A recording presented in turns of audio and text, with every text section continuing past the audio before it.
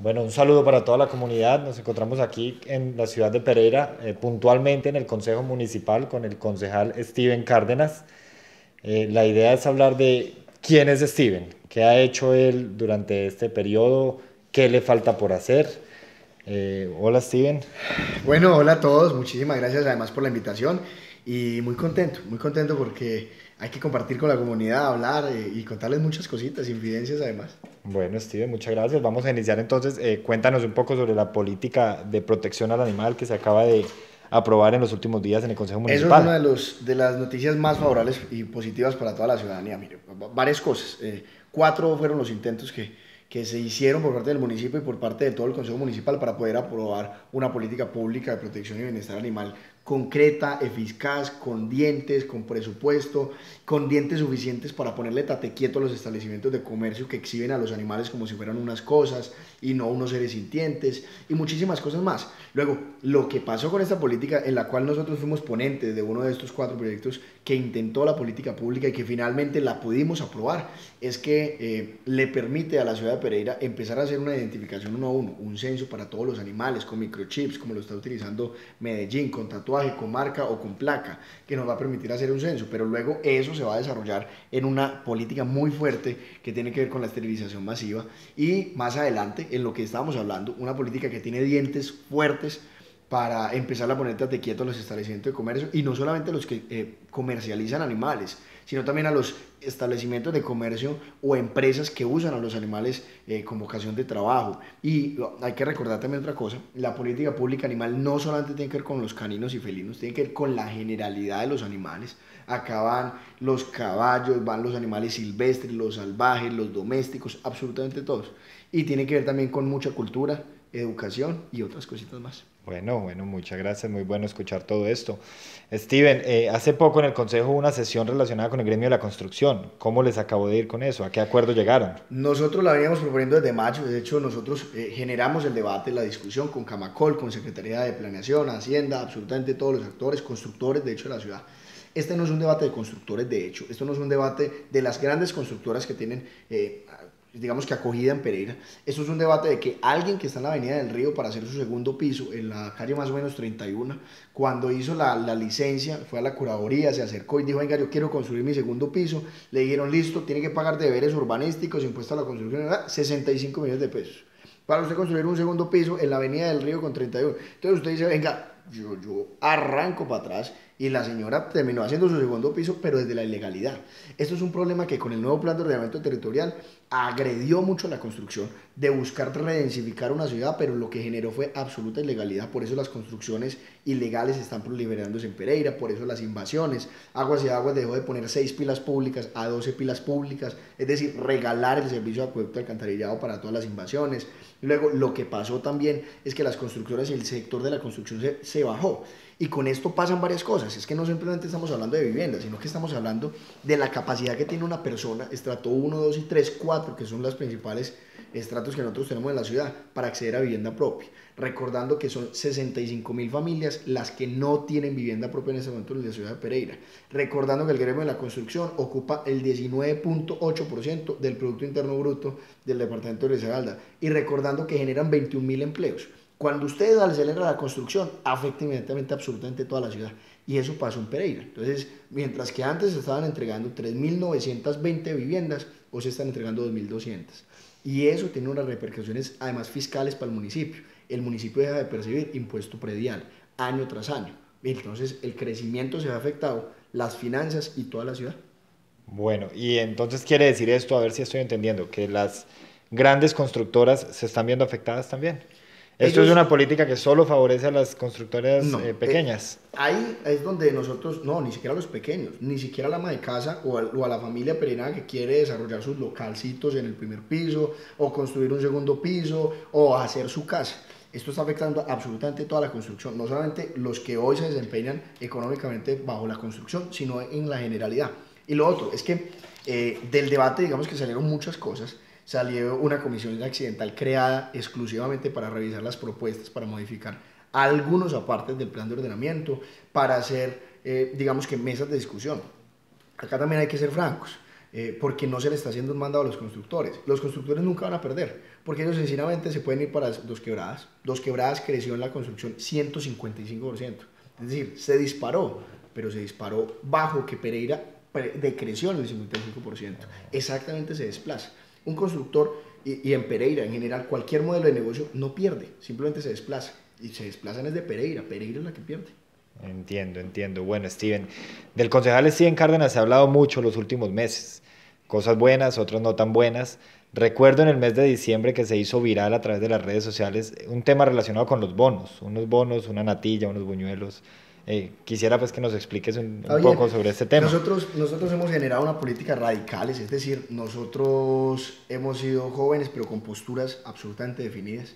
Hoy, tenemos, hoy somos catalogados como las personas más propositivas del Consejo. Nosotros hemos radicado nueve proyectos con el último que acabamos de radicar que es de energía sostenible, el décimo que vamos a radicar en las sesiones de octubre que tiene que ver con la promoción de los artistas pereiranos, un poco más de cultura. Eh, y bueno, además fuimos los presidentes más jóvenes en toda la historia, sin ninguna investigación, absolutamente, ni siquiera un hallazgo ni disciplinario, ni administrativo, ni fiscal. Y eso nos tiene muy contentos. Pero claro, las redes sociales, digamos que se vuelven algo complejas de manejar. Eh, en, diciembre, en diciembre, por ejemplo, en una comunidad. Nosotros estamos acostumbrados, desde que yo hacía labor social, que mis diciembre ya no son en familia, es decir, más bien la familia se sube al carro y arranca a compartir con toda la comunidad. Entonces en diciembre nosotros hicimos alrededor de 92 novenas en todo Pereira. Es decir, yo me desplazaba de lado a lado compartiendo con toda la comunidad. Y en una de esas novenitas me dieron unos buñuelitos marcados con Steven Cárdenas eh, y me pareció muy bonito y yo lo publiqué y lo volvería a publicar. Y a la gente, digamos que algunos eh, dijeron, ay, esto es populismo, esto es politiquería. Y yo le digo, eso es absolutamente el cariño de una persona que en la curva, porque exactamente pasó en la curva, en la comuna Boston, eh, en un sector marginado, en un sector de riesgo no mitigable, que alguien vaya a generarles una visita, que les dé algunos regalitos, es decir, que comparta con ellos. Más que les dé regalitos es que cuando ellos hablan los regalitos que les da su papá, nosotros podamos estar ahí presentes y que eso les dé alegría.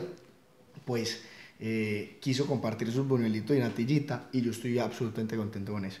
Y lo de los bonos, eh, en algún momento dijeron que nosotros que, cobrábamos coimas, que sacábamos bonos y yo los invité a que fueran a la Procuraduría. Y fueron, primero, nunca fueron a la Procuraduría. Y cuando lo quisieron hacer, un año y tres meses después de generar un show en, en redes sociales, eh, finalmente terminó pasando absolutamente nada. Ah. Porque no pasó absolutamente nada. Porque no hay nada Entiendo, bueno, perfecto. Steven, eh, por otro lado, cuéntanos un poco sobre la política de protección animal que se acaba de aprobar. Esa, esa, esa, esa política, vuelvo y le digo, eh, vamos a hacer ejemplos a nivel nacional. Profundicemos un poco más, que, ya que es la noticia del momento. Somos ejemplos a nivel nacional porque, digamos que Medellín tiene la vanguardia de la política animal. Nosotros nos hemos desplazado muchas veces a Medellín a consultar muchos temas, el tema de la construcción, el tema de la plusvalía, hemos ido a consultar el tema de medio ambiente, tienen un acuerdo, eh, pero este es metropolitano, que tiene que ver con construcciones sostenibles. Nos hemos desplazado para hablar sobre el Centro de Bienestar La Perla que ellos tienen además el primero a nivel nacional. Bueno, y de todo esto, digamos que aparte nos hemos traído poco a poco. Eh, la política animal va a ser un ejemplo a nivel nacional. ya está aprobada. Ya, está... aprobada, ya está para firma del alcalde, la aprobamos la semana pasada. Eh, y esto va a ser un éxito básicamente porque porque lo que resulta es un trabajo muy articulado que le permite la promoción y la protección de todos los animales desde basándonos de que no son una cosa sino un ser sintiendo, sintiente, basándonos de que el respeto a las familias multiespecies, ese concepto se vincula y ese respeto a las familias multiespecies tiene que existir en la ciudad de Pereira, partiendo de darle eh, funciones a la Secretaría de Educación, a la Secretaría de Planeación, a la Secretaría de Gobierno, a la Secretaría de Desarrollo, a Hacienda, a Cultura, para generar concientización, para generar cultura de protección animal, para generar un cambio de chip de todos los pereiranos sobre la protección animal.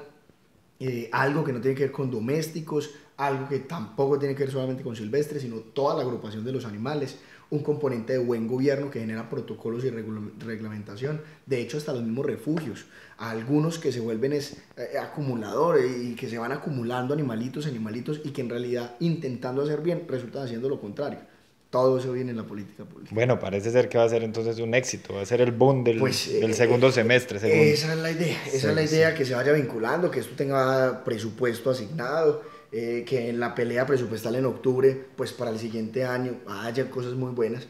Eh, y esa es la idea, digamos que por ahí va la cosa. Nosotros estamos muy contentos, muy contentos. Se, han escuchado ya comentarios de, de, de, que la intención es humanizar los animales. Ya bueno, sabe, ah, sabe, que de todo se escucha, entonces se escucha ya en la comunidad, se escucha que queremos poner los animales por encima de los humanos. Digamos que no podemos llegar al, término humanizar, porque de hecho humanizar a los animales, no me acuerdo quién, un experto, y decía, humanizar a los animales también es parte del maltrato animal que se puede tener. Animal sigue siendo animal, lo que pasa es que los seres humanos también estamos medidos y yo creo que a nosotros nos miden eh, toda la sociedad dependiendo de cómo nosotros tratamos a los animales. Eh, y eso también hay que ser enfático. No se trata de humanizar, pero sí se trata de proteger un mínimo que ellos tienen. Y es a vivir, a subsistir, a que nosotros tenemos unos deberes y unas obligaciones y los deberes y obligaciones es a proteger nuestro medio ambiente, incluido la flora y la fauna, y que dentro de todo eso nosotros como ciudadanos, como peregrinos, tenemos que dar ejemplo a las futuras generaciones, a todo el mundo. Perfecto. Eh, concejal, bueno, ya para ir cerrando, de manera muy breve, ¿qué posición asumió usted en plenaria frente a la condecoración que pretendía o pretende hacer el Consejo Municipal al destituido senador Carlos Enrique Soto y qué ha hecho Steven Cárdenas por la educación de Pereira y qué piensa hacer. Un minuto para cada pregunta. Bien, en la pregunta de Carlos Enrique yo creo que me va a sobrar el tiempo. Bueno, no sé. Eh, nosotros hoy solicitamos, de hecho yo personalmente le solicité a la mesa directiva que mande un comunicado y que le solicite a todos los medios de comunicación, incluido el espectador, que rectifique la noticia porque uno, al ex senador no se le condecoró ya y dos, tampoco se le va a condecorar. Básicamente porque el partido de la U con los que habían propuesto la iniciativa de condecorarlo, eh, eh, retiraron la proposición o retiraron más bien el nombramiento de él, la postulación para ser, para ser digamos que condecorado en el 30 de agosto. Lo segundo es que, simplemente para aclarar, yo con Carlos Enrique Soto, digamos que le tengo respeto, eh, es una persona que se formó a, ultranza, que hizo mucha labor social, que eso no se lo puedo dejar de reconocer, a pesar de que política, ideológica eh, y en doctrinal, eh, académica y en muchos temas estamos distantes porque simplemente no, nos encontramos, digamos que no tenemos un común denominador más allá de que trabajamos por Pereira, eso está claro. Al tipo no se le puede desconocer, digamos que eso. Eh, y en el segundo tema, que tiene que ver más con la educación, hombre, mi papá y mi mamá fueron educadores, es un tema que me apasiona, que me gusta, que entenderlo digamos que se vuelve confuso, pero que nosotros en cada debate lo hemos tenido muy presentes.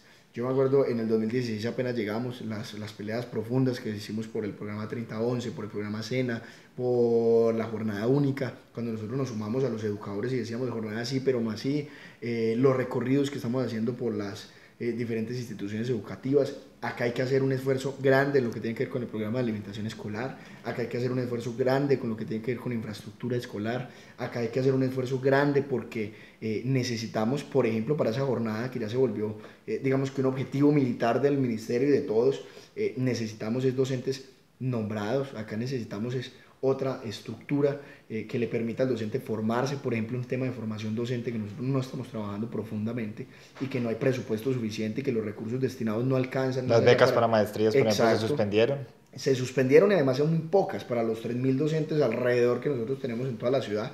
Así que acá hay que hacer muchos esfuerzos, eh, no solamente por los niños, no solamente eh, por los niños y niñas adolescentes, por todo, digamos que el impacto que genera la educación en la sociedad, por los padres de familia, por los vecinos, por lo que es una institución educativa en un corregimiento, por ejemplo, que además es el punto de acopio, es, es, como lo que era la iglesia hace muchos años, por lo que son los educadores. A mis papás los respetaban por ser educadores. Hoy es una cosa totalmente diferente, las tutelas llueven, todo en contra de los educadores.